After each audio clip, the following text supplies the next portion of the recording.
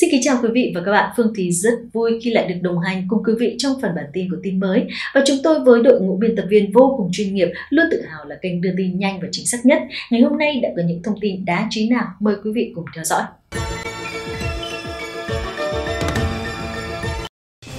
Bản tin Biển Đông ngày hôm nay hé lộ mối lo hạt nhân Trung Quốc tại Biển Đông khiến Mỹ lo sợ. Chào mừng quý vị và các bạn đã đến với bản tin Biển Đông ngày hôm nay của chúng tôi, cập nhật những diễn biến gần đây trong khu vực, đặc biệt liên quan đến vấn đề Trung Quốc, cũng như những dấu hiệu cho thấy Bắc Kinh đang tăng cường chuẩn bị nhiều kế hoạch được cho là sắp chiếm đánh Đài Loan. Mới đây, một quan chức trong quân đội Mỹ đã lên tiếng đưa ra cảnh báo tiếp theo về Trung Quốc. Theo đó, Tư lệnh Bộ Chỉ huy Chiến lược Mỹ, lực lượng giám sát chương trình vũ khí hạt nhân vừa cảnh báo Trung Quốc đang phát triển vũ khí hạt nhân nhanh hơn Mỹ, gọi đây là vấn đề phải đối mặt trong tương lai gần. Các quan chức Lầu Năm Góc nhiều lần cảnh báo về chương trình phát triển vũ khí hạt nhân của Trung Quốc trong mấy năm qua. Những phát biểu của Đô đốc Charlie Richard cho thấy tình hình còn cấp bách hơn khi tôi đánh giá mức độ dân đe của chúng ta đối với Trung Quốc có thể so sánh với việc con tàu đang chìm dần. Nó đang chìm rất chậm nhưng vẫn đang chìm và về cơ bản họ đang phát triển năng lực nhanh hơn chúng ta, ông Richard nói.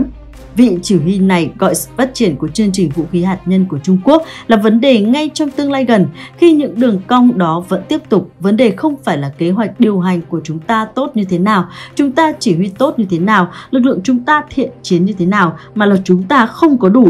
Đó là vấn đề ngay trong tương lai gần, ông nói. Phát biểu được đưa ra tại hội nghị chuyên đề thường niên của Liên đoàn Tàu ngầm Hải quân hôm vừa qua, hội nghị này không mở cửa với người nước ngoài, nhưng phát biểu của ông Richard được đăng trên trang của Bộ Quốc phòng Mỹ. Được biết, trong cùng thời điểm này năm ngoái, Mỹ cũng đã từng phản ứng với vấn đề hạt nhân của Trung Quốc. Theo đó, Liên đoàn Khoa học Mỹ SAS lúc đó đã công bố hình ảnh vệ tinh chỉ ra Trung Quốc đã đạt được tiến bộ đáng kể tại ba khu vực được cho là có hầm chứa tên lửa ở miền Tây nước này sau khi các cấu trúc được phát hiện vào mùa hè. Theo giới nghiên cứu Mỹ, Bắc Kinh hiện nay đã có bước phát triển đáng kể ở các hạ tầng liên quan đến chương trình tên lửa được xây dựng ở Tết thành phố Ngọc Môn Cam Túc, Cáp Mật, khu tự trị dân tộc Duy Ngô Nhĩ, Ngạc Nhĩ Đa Tư, khu vực tự trị nội mông. Nhóm chuyên gia đã phân tích ảnh vệ tinh và ước lượng Trung Quốc đang xây dựng khoảng 300 hầm chứa tên lửa mới mà có thể được dùng cho tên lửa mang đầu đạn hạt nhân. Bên cạnh đó, cùng năm, Bộ Quốc phòng Mỹ công bố báo cáo mới về đánh giá năng lực quân sự kinh tế của Trung Quốc. Theo đó, Bắc Kinh đang hướng đến sở hữu 700 đầu đạn hạt nhân vào năm 2027, cán mức 1.000 đầu đạn hạt nhân vào năm 2030. Báo cáo tương tự hồi năm ngoái thông tin số đầu đạn hạt nhân mà Trung Quốc đang sở hữu vào năm 2019 chỉ vào khoảng 200. Tiến sĩ Satoru Nagao, Viện Nghiên cứu Hudson của Mỹ nhận xét Trung Quốc đang gia tăng đầu đạn hạt nhân, trong khi đó Mỹ giảm dần kho đầu đạn hạt nhân. Tháng trước, Washington công bố đang sở hữu 3.750 đầu đạn hạt nhân và 2.000 đầu đạn trong số này được chờ giải trừ. Tuy nhiên, nhiều nước đang có dấu hiệu gia tăng đầu đạn hạt nhân nên khả năng là Mỹ không giảm số lượng thêm nữa. Cụ thể như không chỉ Trung Quốc mà Nga đang phát triển tên lửa mới mang đầu đạn hạt nhân anh cũng có kế hoạch tăng cường sức mạnh vũ khí hạt nhân. Còn theo một thông số thông tin gần đây thì Trung Quốc đang hướng đến mục tiêu có 1.000 đầu đạn hạt nhân vào năm 2030. Như thế, số lượng đầu đạn hạt nhân của Mỹ có thể không đủ để chiếm ưu thế sức mạnh, đáp ứng nhu cầu gian đe của đối thủ. Điều đó khiến cho cuộc chạy đua hạt nhân có thể diễn biến căng thẳng. Mỹ gần đây yêu cầu Trung Quốc phải tham gia hiệp ước cắt giảm vũ khí chiến lược START. Trong đó, cắt giảm vũ khí hạt nhân Trước nay, START chỉ có Mỹ và Nga tham gia nên Trung Quốc không bị hạn chế theo hiệp ước. Nếu Trung Quốc vẫn không tham gia thì tình trạng trên có thể dẫn đến chạy đua hạt nhân trở thành một phiên bản mới của chiến tranh lạnh. Tiến sĩ Nagao phân tích thêm. Về phía Trung Quốc, Tuy chính quyền Bắc Kinh chưa lên tiếng về những nhận định này của Mỹ, nhưng một cựu quan chức thuộc quân đội Trung Quốc đã lên tiếng cho biết quốc gia này đã dành hai thập kỷ qua để xây dựng hệ thống vũ khí hạt nhân trên bộ và trên biển, đảm bảo rằng quân đội nước này có thể phản đòn nếu bị tấn công hạt nhân và ngăn những nước khác tấn công Trung Quốc. Theo đó, ông Wang Xiangsui, hiện là giáo sư tại Đại học Hàng không Bắc Kinh nói rằng hệ thống này bao gồm một mạng lưới đường hầm rộng khắp để vận chuyển và bảo vệ tên lửa, có thể đảm bảo an ninh cho Trung Quốc ngay cả trong tình huống xấu nhất. Tấn công hạt nhân vào Trung Quốc luôn là một lựa chọn quân sự của Mỹ, nhưng với lựa chọn này, họ đang phải đối mặt với sự bất định ngày càng lớn và những điều chỉnh thay đổi của chúng ta trong 20 năm qua, ông Wang nói tại diễn đàn Mạc Can Sơn. Không nêu ra nguồn nào, ông Wang nói rằng một số đánh giá của Mỹ cho rằng chỉ một đầu đạn hạt nhân của Trung Quốc có thể sống sót nếu Mỹ bị tấn công phủ đầu và có thể chạm đến Mỹ đại lục nếu phản công.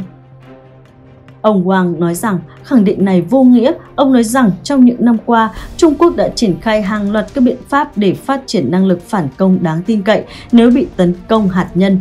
Bên cạnh các đường hầm tên lửa đạn đạo liên lục địa, Trung Quốc đã phát triển hệ thống tên lửa tiên tiến và mở rộng pháo đài dưới biển ở Biển Đông và hàng hải để các tàu ngầm tên lửa đạn đạo của nước này hoạt động an toàn. Những thứ này đã vạch ra giới hạn cho đối đầu Trung Mỹ để đối đầu có khả năng trở thành một cuộc xâm lược lớn. Đấy là cơ sở quan trọng cho tính toán của cả hai bên, ông Wang nói. Được biết, Trung Quốc cam kết không sử dụng vũ khí hạt nhân. Trước tiên, ước tính này đang sở hữu 200 đến 300 đầu đạn hạt nhân, chỉ là phần vỏ so với 4.000 đầu đạn hạt nhân của Nga và Mỹ. Chiến lược hạt nhân phụ thuộc vào khả năng đảm bảo các lực lượng hạt nhân có thể sống sót sau khi hứng làn sóng tấn công đầu tiên của kẻ thù. Năm 2018, báo chí Trung Quốc đưa tin quân đội nước này đã xây dựng vạn lý trường thành ngầm dài 5.000 km trên khắp đất nước để giấu đi, di chuyển và phóng tên lửa hạt nhân phản công. Trong đoạn phim được chiếu trên truyền hình, các tên lửa đạn đạo liên lục địa được chở trên xe tải đi dọc theo đường hầm. Trung Quốc cũng phát triển năng lực hạt nhân dưới biển bằng cách trang bị cho các tàu ngầm tên lửa đạn đạo Thai B094A, loại tên lửa GL-2 hai đội tàu này sẽ đảm bảo khả năng tấn công nếu cấp thầm trên đất liền bị tấn công. Quân đội Trung Quốc có một căn cứ tàu ngầm hạt nhân ở Biển Đông, khu vực nước sâu, giúp tàu ngầm khó bị phát hiện hơn. Trung Quốc cũng có hai căn cứ tàu ngầm ở Hoàng Hải gần hơn để tấn công Mỹ đại lục qua Bắc Cực. Các máy bay do thám Mỹ phát hiện các căn cứ tàu ngầm của chúng ta trên Biển Đông hoạt động ở độ sâu tận 3.000 mét và các đảo nhân tạo mà chúng ta xây dựng là nơi phóng tên lửa GL-2. Ông Wang nói, Tên lửa GL-2 có tầm xa 7.400 km và thế hệ tên lửa tiếp theo là GL-3 có tầm xa hơn 12.000 km, đưa Mỹ vào tầm ngắm. Cũng tại diễn đàn, ông Wang tiết lộ đầu tiên rằng các tên lửa sát thủ diệt tàu sân bay DS-26B và DS-21D của quân đội Trung Quốc đã bắn trúng một chiếc tàu đang di chuyển trên Biển Đông trong vụ thử hồi tháng 8 năm nay, gửi tín hiệu cảnh báo đến Mỹ rằng chớ có hành động quân sự liều lĩnh. Liên quan đến vũ khí hạt nhân Trung Quốc, tờ Hoàn Cầu Thời báo, một phiên bản của tờ Nhân dân Nhật báo trực thuộc Đảng Cộng sản Trung Quốc hồi tháng 5, đăng bài viết kêu gọi nước này tăng số lượng vũ khí hạt nhân, đặc biệt là vũ khí răn đe hạt nhân trên biển đối với tên lửa đạn đạo phóng từ tàu ngầm xuyên lục địa. Lý do được đưa ra là nhằm ngăn chặn các hành động quân sự tiềm năng của quân đội Mỹ. Cụ thể hơn, bài viết cho rằng Mỹ đã gây áp lực quân sự lớn hơn đối với Trung Quốc, điều động tàu chiến và máy bay chiến đấu tới Biển Đông và eo biển Đài Loan với tần suất ngày càng tăng. Cũng trong tháng 5, tiến sĩ Mark Valencia, chuyên gia thuộc viện Nghiên cứu Quốc gia của Trung Quốc về Biển Đông, đăng bài viết trên tờ South China Morning Post với tựa đề cuộc trận đua Mỹ-Trung về năng lực giám sát Biển Đông có nguy cơ dẫn đến đụng độ không cần thiết. Trong bài viết, tác giả đưa ra đe dọa bằng cách khoe thành tựu hệ thống do thám trinh sát và thu thập thông tin tình báo mà Trung Quốc thiết lập ở Biển Đông có thể giúp Bắc Kinh sớm điều động tàu ngầm hạt nhân để tạo nên một pháo đài trên biển với khả năng dân đe hạt nhân. Đó có thể xem là một thông điệp hàm chứa mối đe dọa hạt nhân đối với Biển Đông và đứng trước những động thái được cho là có tính tiềm tàng nguy hiểm này, Mỹ, Anh đã quyết định chung tay giúp Úc sắm tàu ngầm chạy bằng nhiên liệu hạt nhân. Bước đi này diễn ra khi các quốc gia cùng chia sẻ quan ngại về sức ảnh hưởng ngày càng lớn của Trung Quốc ở khu vực. Theo cơ chế đối tác vừa được Tổng thống Mỹ Joe Biden, Thủ tướng Anh Boris Johnson và Thủ tướng Úc Scott Morrison thông báo Mỹ sẽ cung cấp cho công nghệ và đào tạo năng lực triển khai các tàu ngầm hạt nhân. Trong lễ thông báo trực tuyến của ba bên diễn ra ở thủ đô mỗi nước, các nhà lãnh đạo nhấn mạnh rằng Úc sẽ không theo đuổi vũ khí hạt nhân nhưng sẽ sử dụng các hệ thống động cơ đẩy bằng năng lượng hạt nhân cho các tàu nhằm đối phó với những mối đe dọa trong tương lai. Chúng tôi nhận thấy sự cấp thiết của việc đảm bảo hòa bình và ổn định ở Ấn Độ Dương-Thái Bình Dương trong dài hạn, Tổng thống Biden nói. Chúng ta cần xử lý môi trường chiến lược hiện tại ở khu vực và cả cách nó sẽ thay đổi để đảm bảo tương lai của mỗi quốc gia và thực sự cả thế giới sẽ phụ thuộc vào một Ấn Độ Thái Bình Dương mở và tự do trong thập kỷ tới. Ông nói, được biết sự kiện diễn ra khi Washington và các đồng minh đang tìm kiếm các biện pháp nhằm đối phó với ảnh hưởng và sức mạnh ngày càng lớn của Trung Quốc, nhất là việc tích lũy sức mạnh quân sự gây sức ép lên đảo Đài Loan, Trung Quốc và triển khai lực lượng và vũ khí xuống Biển Đông tranh chấp. Trong sự kiện lần này, ba nhà lãnh đạo của ba nước Mỹ, Anh và Úc không đề cập đến Trung Quốc. Một quan chức Mỹ cấp cao khi họp với các phóng viên trước thềm sự kiện khẳng định rằng bước đi này không nhằm để đối phó với Trung Quốc. Giới chức Mỹ nói rằng động cơ hạt nhân sẽ giúp Hải quân Úc hoạt động lặng lẽ hơn trong thời gian dài hơn và tạo ra năng lực răn đe trên khu vực Ấn Độ Dương-Thái Bình Dương. Các quan chức Mỹ cho biết quan hệ đối tác mới gọi tắt là AUKUS bao gồm cả hợp tác trong lĩnh vực như trí tuệ nhân tạo, công nghệ lượng tử và không gian mạng.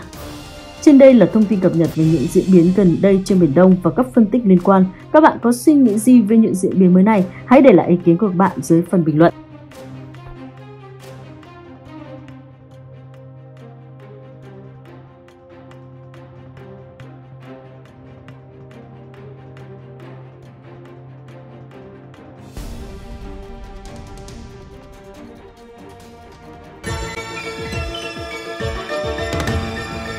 Vâng thưa quý vị, bản tin hôm nay tới đây là kết thúc. Chân thành cảm ơn quý vị và các bạn đã theo dõi bản tin của chúng tôi. Chúc quý vị và gia đình luôn mạnh khỏe hạnh phúc. Nếu thấy hay thì hãy đăng ký kênh, sau đó nhấn biểu tượng chuông ở góc phải màn hình để không bỏ lỡ những tin tức mới nhất mà chúng tôi sẽ cập nhật. Còn bây giờ xin chào và hẹn gặp lại.